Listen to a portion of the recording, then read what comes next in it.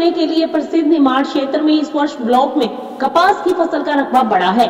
पिछले वर्षों में कपास के भाव ने सभी रिकॉर्ड तोड़ दिए थे, जिसके कारण किसानों को इस वर्ष भी अच्छे भाव मिलने की उम्मीद थी, जिसके चलते अधिक मात्रा में कपास की बोनी की गई। लेकिन लगातार बारिश के चलते किसानों की उम्मीदों पर पानी फिर गया है। कपास की क्वालिटी पर असर पड़ा है, साथ ही उत्पादन भी कम होने की संभावना है।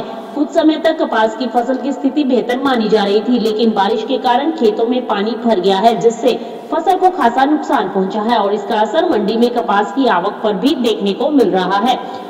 शहर की कृषि उपज मंडी में 7 सितंबर से कपास की खरीदी शुरू हुई थी। मुहूर्त में कपास का न्यूनतम भाव इकसठ सौ रूपए क्विंटल रहा तो वहीं अधिकतम दस हज़ार एक सौ इक्यावन रूपए प्रति क्विंटल देखने को मिला था। सितंबर महीने में तैतीस सौ छियानवे क्विंटल कपास की आवक रही, वहीं औसतन भाव सात हज़ार रूपए प्रति क्विंटल देखने को मिला था। अब वहीं देखा जाए तो इसी हफ़्ते जानकारी के अनुसार बारिश के चलते त्योहार और पर्वों के कारण मंडी में कपास की आवक कम देखने को मिल रही है।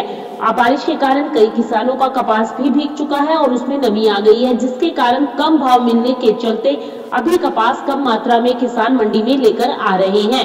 वहीं मंगलवार से Madhyanchal cotton ginners and traders association की अनिश्चितकालीन हड़ताल के एक दिन पहले मंडी में 16 बैलगाड़ियों और 43 वाहनों से 675 क्विंटल से अधिक कपास की आवक देखने को मिली, जिसमें कपास का न्यूनतम भाव अड़तालीस रूपए प्रति क्विंटल रहा तो वहीं अधिकतम नौ हज़ार दो सौ देखने को मिला।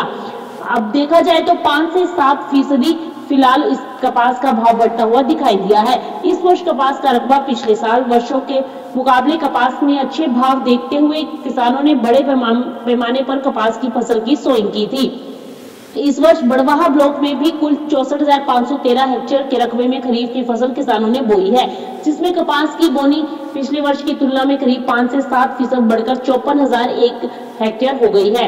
शेष दस हज़ार पाँच सौ बारह हेक्टेयर में सामान्य फ़सलें, धान, ज्वार, मक्का, बाजरा और दलहन फ़सलों में अरहर, मूंग, उड़द की फ़सल लगाई गई है। वहीं तिलहन फ़सलों में मूंगफली, सोयाबीन, तिल अरंडी व सूर्यमुखी 190 हेक्टेयर में गन्ने की फ़सल बोई गई है। आपको बता दें कि एक और लगातार बारिश के चलते किसानों की फ़सलें प्रभावित हुई है तो वहीं मंगलवार से मंडी टैक्स करने, कम करने की मांग को लेकर Madhyanchal cotton ginners and association की अनिश्चितकालीन हड़ताल भी शुरू हो चुकी है, जिसके कारण मंडी में कपास की खरीदी बिक्री नहीं हो पाएगी। इस संबंध में किसानों को सूचना दे दी गई है, जिसके कारण किसान अपना कपास मंडी प्रांगण में बेचने के लिए नहीं ला पाएँगे। वही अनाज मंडी चालू रहेगी और हड़ताल का असर कपास के व्यापार पर भी पड़ सकता है। आगामी दीपावली त्योहार मनाने को लेकर किसान भी काफ़ी चिंतित है। Bureau report, Market Times TV.